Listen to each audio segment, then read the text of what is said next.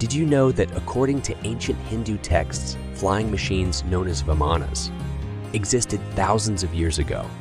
These texts describe Vimanas, powered by Mercury and controlled by pilots who could navigate the skies at incredible speeds. One such text, the Vaimanika Shastra, describes in detail the construction of these Vimanas and even includes diagrams and blueprints. The Mahabharat also describes aerial battles fought using these flying machines. How did ancient Hindus have such advanced knowledge of flight and technology? Some believe they were visited by advanced beings, while others think that ancient Hindus were just more advanced than we think. The idea of Vimanas is fascinating, and who knows, maybe we'll uncover more evidence of this technology